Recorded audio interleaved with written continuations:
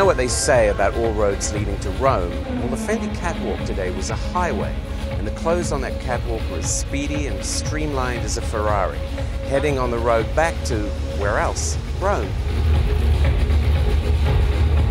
We are on the road, but we are also inside the new space. The set represents the Colosseo Quadrato, the squared Colosseum in Rome, which is going to be from January our new headquarters and a big source of inspiration already now. The guts of this collection are so incredibly young. Because I don't think it was a moment to do the 70s and all that. I think it's the youth of today, that's how I see it.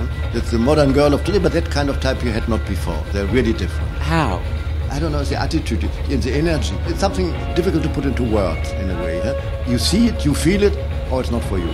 Really young in look, but I think massively mature in approach. It was a very young collection, but I think it was still very luxurious. The jackets out of an incredible leather. All of that sort of cut leather, the sort of feather work, the treatments that they do are just out of this world. I can't think of anyone else who could do that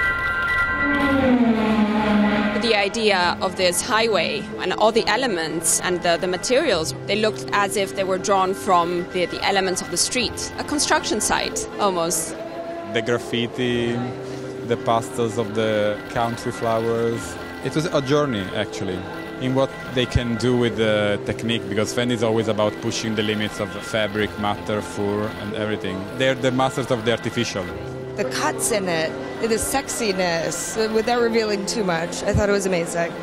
You have to destroy it to rebuild. If not, it would become very like this. This is me. That is like this. We don't change. Or no. Do you feel you've destroyed Fendi to rebuild it? You can only build something if you destroy it on the road several times. If not, it's not from the period. Fendi has to be about today, rooted in the past, and to be 100% today.